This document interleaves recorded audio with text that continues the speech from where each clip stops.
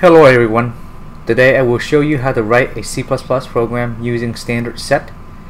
Uh, standard set is an associative container that contains a sort set of unique objects of type key. Standard set does not allow duplicate elements.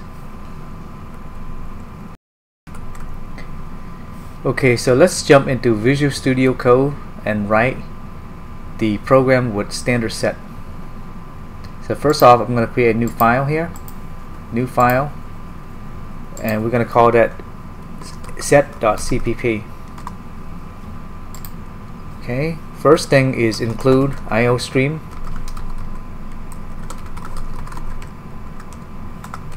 For standard input output, then include set to use the set standard set include vector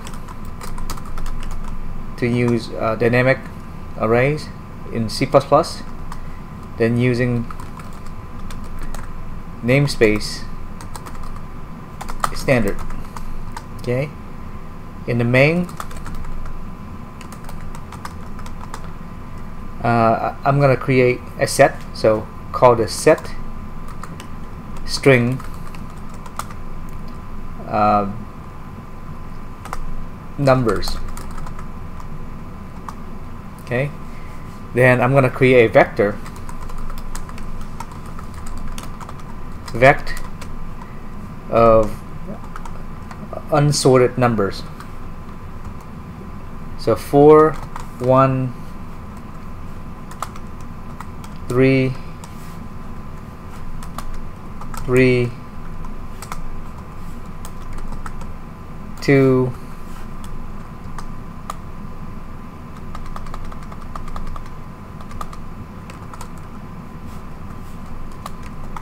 one I'm sorry five and five.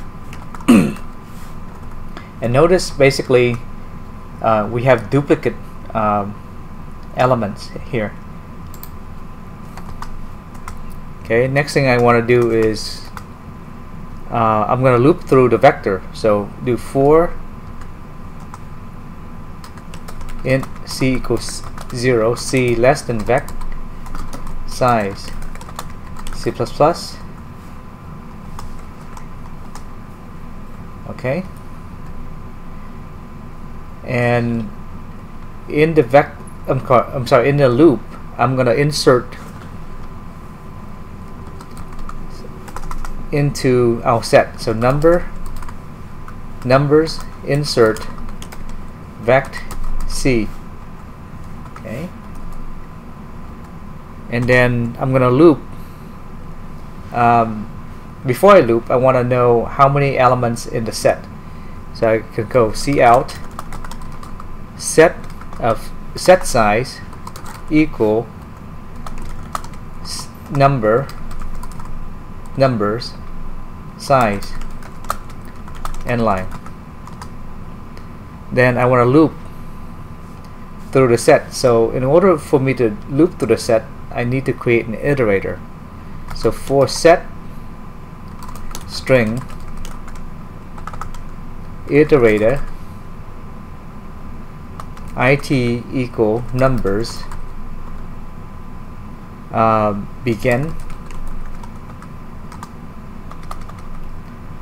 and uh, it not equal numbers end and increment. Okay? Then I can do cout star it and then do a cout and line. Okay? Uh, next I like to find out if my number is inside the set so I can do I can use a find statement. So to this to do this we also need to create an iterator. So set string iterator it equal to number find 4 right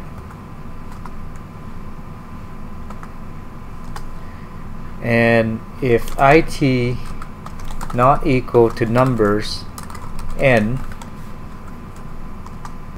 then we know that um, out we can say it's found. Else cout not found. End line. Okay and then we do a return 0 so this should complete the example. We need to save the file.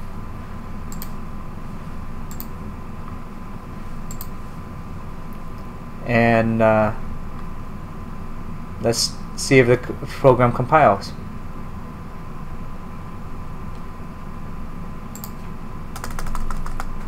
So to compile the program, we do G++ standard equal C++ 14 and then set CPP.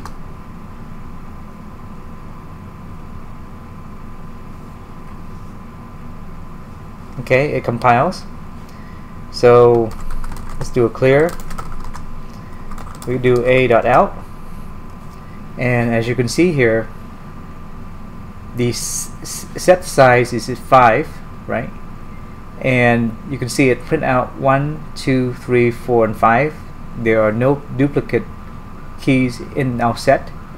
And the final result it it was able to find number 4 okay so thank you so much for watching the video. Please remember to press like and subscribe and to view more of these great tutorials